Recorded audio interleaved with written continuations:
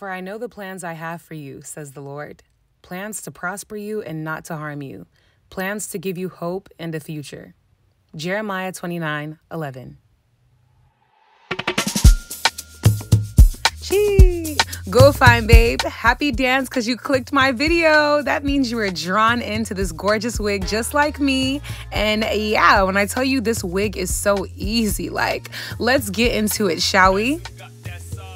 First and foremost, welcome to my channel. If you're new here, my name is Sophia. I'm a fine babe, and you can be too. Just like, comment, and subscribe to join the Fine Babe family. And for my returning subscribers, thank you so much for your support. I love you so deep. From TikTok to Instagram, you guys have let me know you are loving this wig, and ah, I don't blame you. The wig is bad, and it has me feeling like a baddie, okay? Those of you that know me, help me tell them I never wear curly wigs, but this hair is beautiful. It's fluffy, it's full. The curls look so natural and succulent. I also experimented with it and cut it into a little bobby bob. Let me know if you like the bob more than the longer length. I'm feeling both shy. I might get two of these and keep one short, one long, but that's not what we're here for.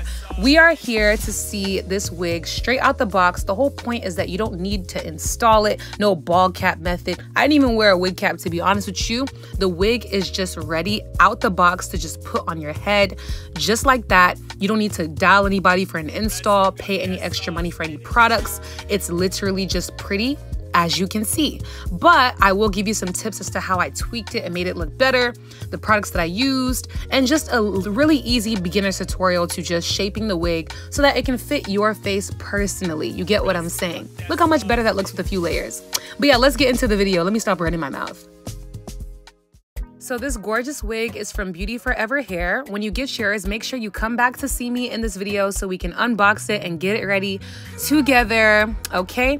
But yeah, once I open the box, it comes with some of these goodies, including the wig cap and the wig itself. Straight out the package, as you can see, the curls look like this. Take a look at this closure, y'all. So it comes pre-plucked, meaning no tweezing. The lace is already cut, meaning you don't even have to know how to cut the lace off. There's so much space on the closure, so it's not even giving closure. Let me take the styrofoam out so you can see that it is HD lace, meaning no matter your complexion or your skin color, it will blend right into your skin like it is doing on my hand. I was so excited when I saw that because even though I know what I'm doing with wigs, it's not every day. Sometimes just put a wig on and go. It has extra support with the elastic band and the combs, and I put it on so you can see I will not be wearing a wig cap underneath. You can wear one to protect the combs from touching your hair, but it's just not necessary to me. Just look at how plucked that hairline is. There's no need for you to do anything, not even bleach the knots. Once I saw this, I knew bleaching the knots would only probably lighten the hair too much, there's no need. I'm just going to take some tinted lace spray from Ebin in the color medium and start spraying that on the closure. A little bit goes a long way. I wasn't paying attention. I just decided to soak the whole thing, but it's really not necessary. I ended up spraying too much. Just a little is fine. Just, I'm going in, but just spray it. And once you're done, you're ready to put on the wig. So here I am with the bald cap, okay? If you want to do the bald cap method, go ahead, but you know, we're not gonna do that. I'm only gonna use two products today, which is the tint spray that I've already used, and then this spray on spritz mousse, whatever. And that's also optional too. But I'm gonna take some and spray it on my hands so I don't mess up my makeup. And using my finger, just going to tap some on my hairline slash forehead, whatever. This is completely optional. I tell you, it's just for a little extra assurance. But if your elastic band is tugged enough, like it should be fine. Once it's tacky, I am ready to put on the wig. Like I said, if the elastic band is on, then you have nothing to worry about as far as using any product. But I just like me some spritz because it just adds to the melt, in my opinion, especially in this Texas heat. So here we go. The wig is on, and look how gorgeous it already looks. Like, the curls are everything to me. I love that the curl pattern isn't even just deep wave. It really does mimic like a really good wash day. You get what I mean? But let's get into this install. Now, just a tip, if you're not someone that likes baby hairs and stuff, and I'm not feeling baby hairs today, I'm kind of growing out of it to be honest, you can just take a few hairs from the corners of the closure and just separate it just like that.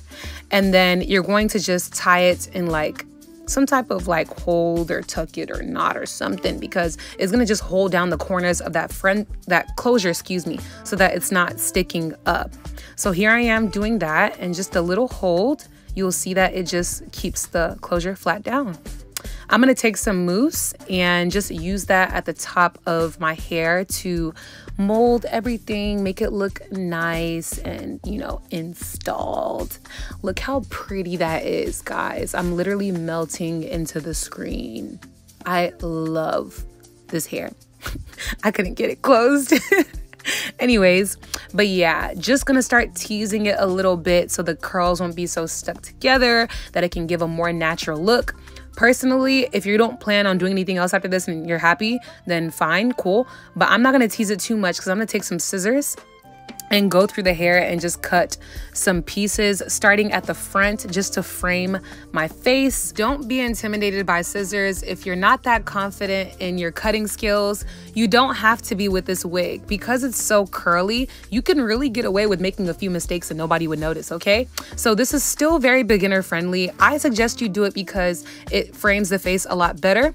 I'm trimming the ends so it doesn't look, um, you know, so separated. And then I'm starting at the top and mainly cutting some layers into the top. I'm moving the scissors down in a downward motion consistently so it doesn't look choppy and then just trimming at the ends there. Have fun, practice, be confident in doing this because with curly hair, you can really get away with a lot. I'm taking some mousse and just sinking those curls back together because obviously all that movement was, you know, spreading the hair a little bit too far. And there it is. We did that. Fine, babe. And just like that, you're done. Unless you want to have more fun and cut this into a bob like I did.